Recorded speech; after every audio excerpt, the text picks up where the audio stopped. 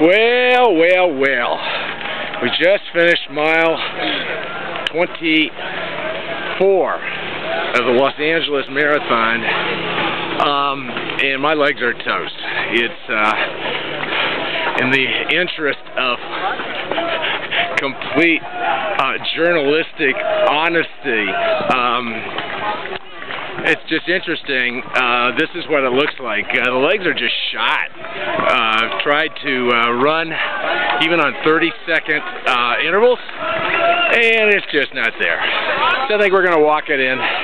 It's going to be a five and a half hour marathon, maybe 540. Hard to really tell. But um, going into my introspective mode here, what uh, exactly happened, I'm not.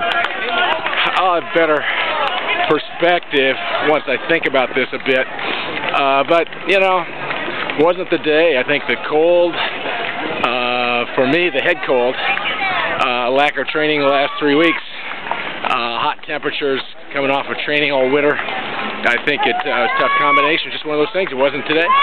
But I know we're going to get done. We're going to notch another marathon.